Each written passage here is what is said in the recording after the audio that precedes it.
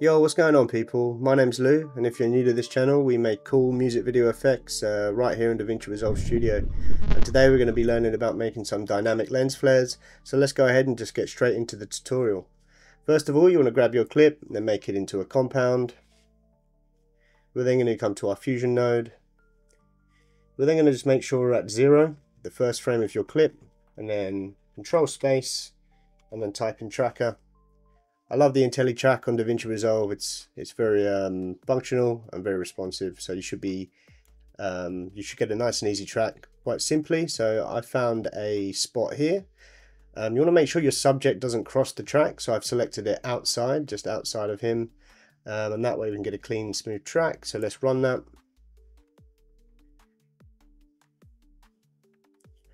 Once that's done, you want to come to Operation, Match Move, come to our lens flares. And then we're going to go to our position right click on position and then connect to our IntelliTrack and then position. Now if we just start it from here you can see straight away that looks really cool. Let's go back. Now this is just a standard preset but uh, I think we want something a little bit more cinematic something that fits the vibe a little bit more so I recommend you come and look at the presets, but I'm going to come down to anamorphic handycam. And you see how they dynamically interact with the environment.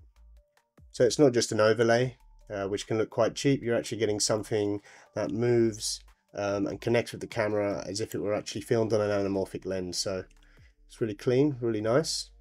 And that was pretty simple, but we can make a few adjustments. So let's go in and maybe colorize the result. I'm just going to make it blend more with the actual environment. So you can see they've got some nice teal blues and oranges going on here. So let's try and find a blue, like a light blue.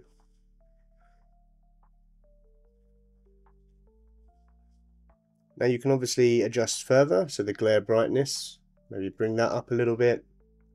The global scaling, I'm just going to keep, for the sake of this uh, tutorial, I'm going to keep this at 1. The anamorphism stretches it out more. All of these things you can play around with and really dial in uh, what you're looking for.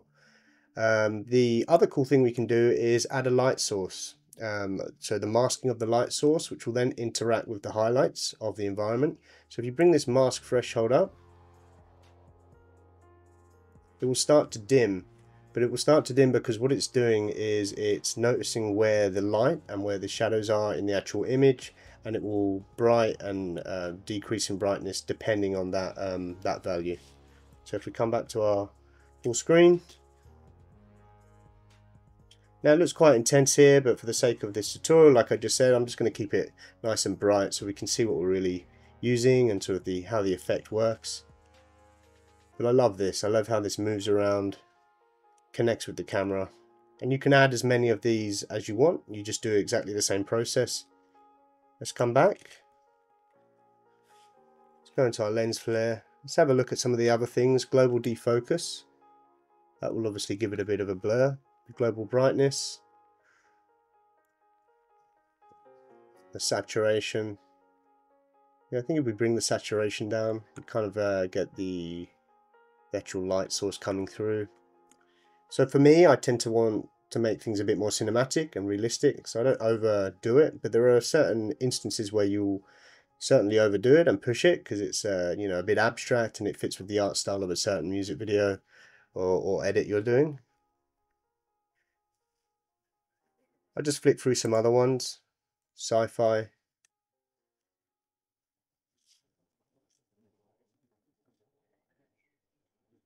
This looks cool as well, actually. Let's go and add some colour to it.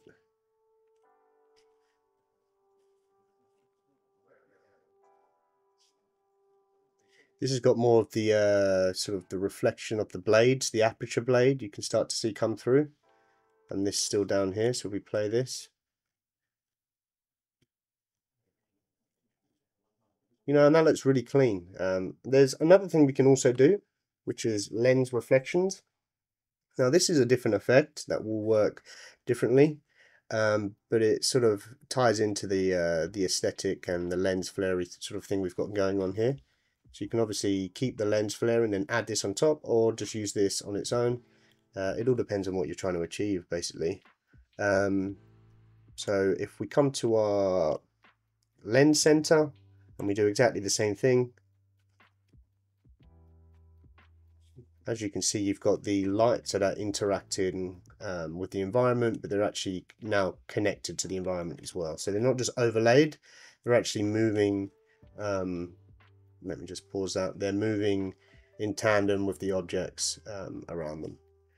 Um, and there's a lot more options in this. I'm not going to go through them all, but you can have a play around. You get, get some really um, interesting effects.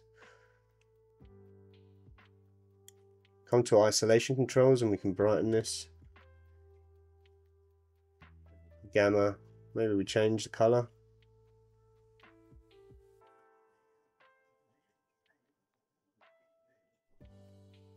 You've got presets as well, bokeh.